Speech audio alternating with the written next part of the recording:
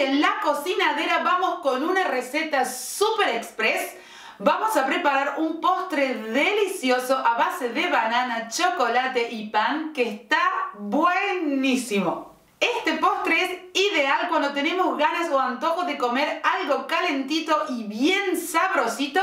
Y de paso eh, podemos aprovechar esas bananas que están ya un poquito demasiado maduras algunas rodajitas de pan que nos quedaron por ahí quizás un poco duras y convertir todo eso en algo delicioso. Lo mejor de todo es que se prepara en pocos minutitos y ya van a ver que el resultado es espectacular. Ideal para acompañar con un rico café o un té y si ustedes prefieren también pueden agregarle una bochita de helado que queda genial. Esta receta no lleva realmente ingredientes ni cantidades específicos y exactos. Es muy muy fácil, así que vamos a ver cómo es que se prepara. Lo que yo tengo aquí colocado en esta fuentecita ya apta para ir al horno son unas 4 a 5 rodajitas de pan lactal. Este es integral y lo he cortado así en trocitos desparejos, medianos, más chiquititos todos acomodaditos bien en el fondo de la fuente. Y aquí también tengo dos bananas que están súper bien maduritas. Recuerden de fijarse que cuando la banana tiene sobre la cáscara estos puntitos, esto quiere decir que está en su punto justo y va a estar súper, súper dulce y riquísima. Lo que voy a hacer a continuación simplemente es pelar las bananas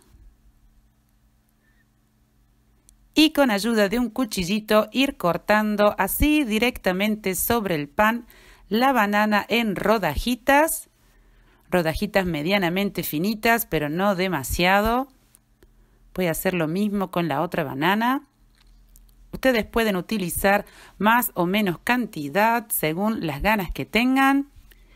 Y listo, aquí tengo bien acomodaditas las rodajitas de pan y las rodajitas de banana. Ahora llegó el momento de agregarle los extras. Aquí yo lo que tengo es eh, un trozo de chocolate oscuro, de chocolate amargo, cortado así en trocitos y también algunas nueces picaditas. Ustedes pueden agregar almendras, lo que deseen. Y voy a agregar esto simplemente así sobre la banana. Todo siempre eh, bien repartido. Por supuesto, ustedes pueden utilizar alguna otra fruta. Yo lo he hecho, por ejemplo, con manzanas cortaditas en trocitos y queda riquísimo. Ahora en un bol lo que voy a hacer es agregar dos huevos. Esto es para la cantidad que yo estoy haciendo hoy de postre. Y también voy a agregar un vaso de leche. Lo que voy a hacer también es agregar unas 3 cucharaditas de azúcar. Aquí yo estoy utilizando azúcar rubia. Y también una cucharadita de extracto de vainilla. Si ustedes gustan pueden agregar también un toquecito de canela que le va muy muy bien.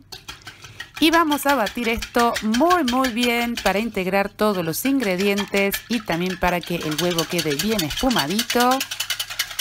Vamos a batir y batir.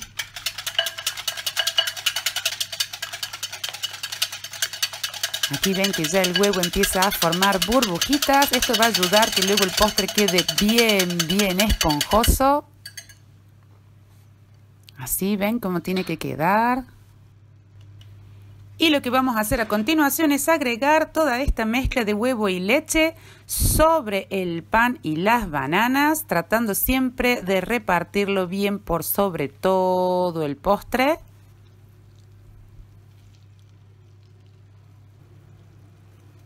Y con ayuda de una cuchara o de una espátula vamos a ir ayudando sobre todo a los trocitos de pan a que queden bien sumergidos en el líquido esto luego en el horno va a cuajar y va a quedar todo muy, muy rico. Va a quedar como una especie de budín de pan express. Y ahora sí, vamos a poner nuestro postre en el horno que está precalentado a 180 grados centígrados y lo vamos a dejar allí hasta que lo veamos que está bien doradito y que se ha endurecido y está listo. Mientras el postre está en el horno, es el momento justo para suscribirse al canal si todavía no lo han hecho, dándole clic aquí al botoncito de suscribirse y también recuerden de activar la campanita para no perderse ninguno de los videos. En unos 15 minutitos ya el postre estuvo listo. Miren la pinta que tiene esto. Queda espectacular a la vista. No saben el aroma que tiene. Inundando la cocina riquísimo. Para saber si ya está listo, simplemente introducen un palito de cocina y cuando el palito sale bien limpito, quiere decir que ya está listo. Aproximadamente les va a llevar unos 15 minutitos. Recuerde que si pinchan en el chocolate, va a salir con chocolate, pero no quiere decir que esté crudo.